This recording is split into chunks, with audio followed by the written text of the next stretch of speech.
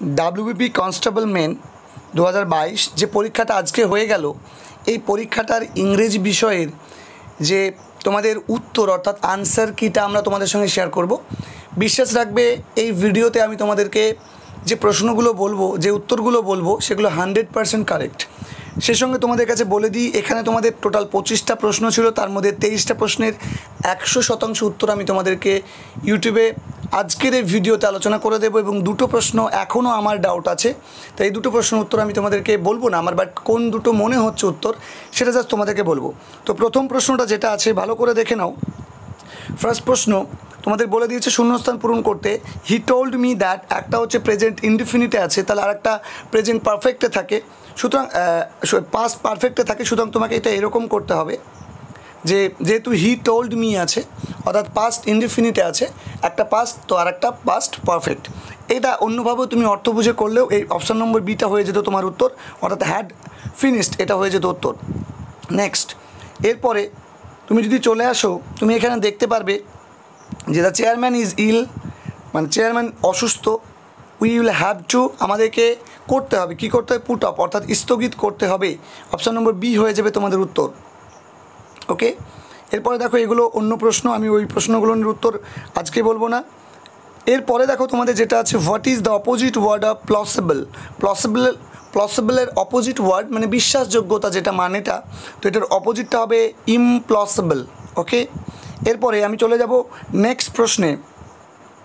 Next তোমাদের এক্ষেত্রে দশ নম্বর প্রশ্নটা যেটা আছে, দেখো। দশ নম্বর প্রশ্ন যেটা আছে, সেটা তোমাদের ইন লাইফ দিয়ে প্রশ্নটা তোমাদের দিয়েছে, দিয়ে দিয়েছে। সিকোয়েন্স তোমাদের, তোমরা যারা এইটা উত্তর মানে এই উত্তরটা তোমরা যারা করনি, আমি বলব যে উত্তরটা তোমরা যারা করনি, তারা খুব ভালো করেছ, কারণ এইটা নিয়ে আমার ডাউট আছে। এবং এই যে সিকোয়েন্স টাইপের প্রশ্নগুলো যারা করনি, তারাই কিন্তু লাভবান হবে পরীক্ষার হলে।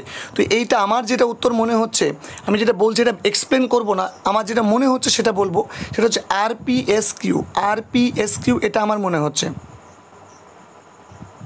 আর অপশন নম্বর বি এটাই আমার মনে হচ্ছে ওকে এরপরে তোমাদের প্রশ্ন নম্বর তোমরা যদি দেখো, এখানে তেরো থেকে কোনোটা নেই। এরপরে তোমরা চলে আসবে, দেখতে পাবে পনেরো নম্বর তোমাদের আবার সিকোয়েন্স টাইপ আছে। ঠিক আছে?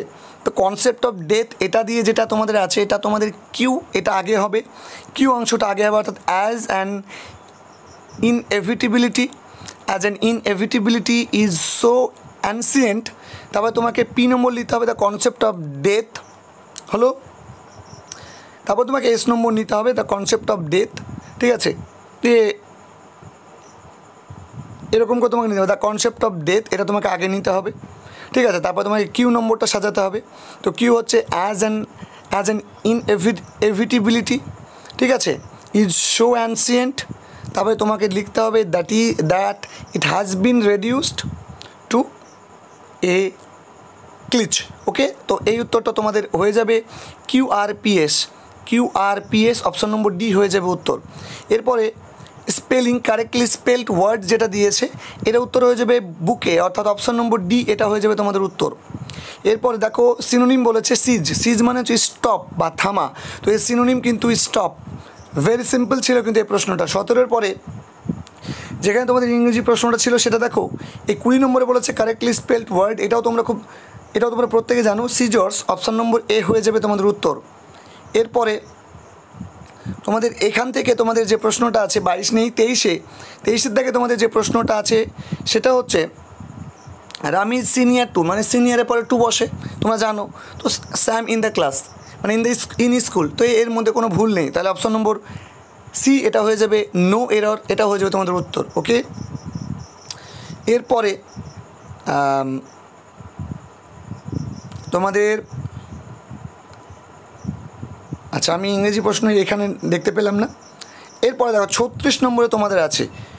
এই যে মানে সাপোর্টিং তোমাদেরকে এরর কারেকশান দিয়েছে, তো সাপোজিং ইফ দুটোই কিন্তু ধরে নেওয়া। যদি বা সাপোর্টিং মানে ধরে নেওয়া, তাহলে এইটাই হয়ে যাবে তোমাদের অপশান নম্বর এ হয়ে যাবে ভুল।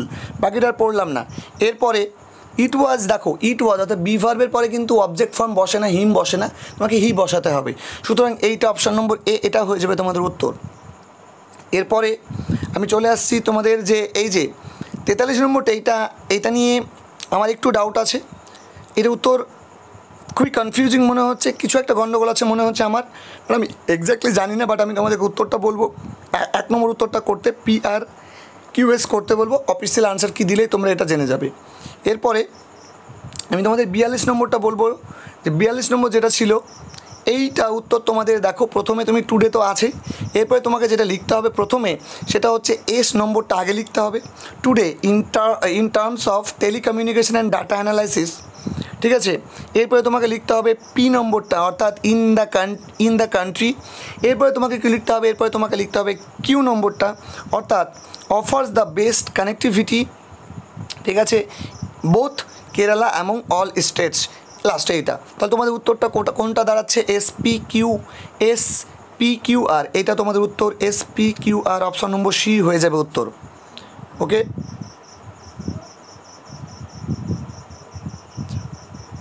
এরপরে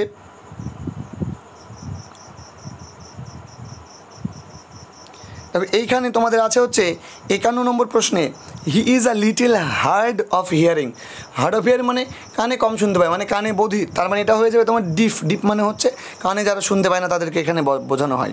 তাহলে এক্ষেত্রে আমি দুটো একসঙ্গে, দুটো পেজকে একসঙ্গে যখন এভাবে তুললাম, তখন কিন্তু এখানে দুটো দেখতে পেলাম না। তাহলে চুয়ান্ন, সাতান্ন, পঞ্চান্ন, আটান্ন, এগুলোর মধ্যে কিন্তু আর ইংরেজি প্রশ্ন নেই। এরপরে দেখো চলে এসেছে, উনষাট নম্বর ডিফারের অপোজিট বলেছে। ডিফারের অপোজিট হয়ে যায় পোস্টপন্ড অর্থাৎ কোনো কিছুকে উইথড্র করে নেওয়া, তুলে নেওয়া ওকে এরপরে তেষট্টি নম্বর তেষট্টি নম্বরটা তোমাদের বলে দিয়েছে যে, এটা তোমাদের ফ্রেজ বা ইডিয়াম থেকে দিয়েছে।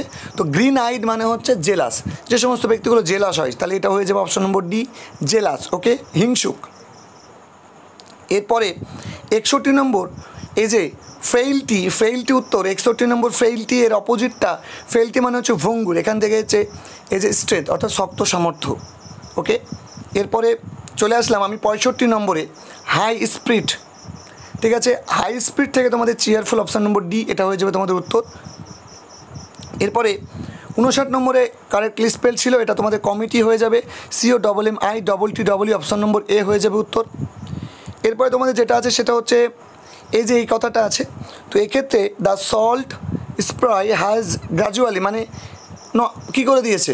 ভঙ্গুর করে দিয়েছে মানে ক্ষতিপ্রাপ্ত হয়েছে, ক্ষয়প্রাপ্ত হয়েছে।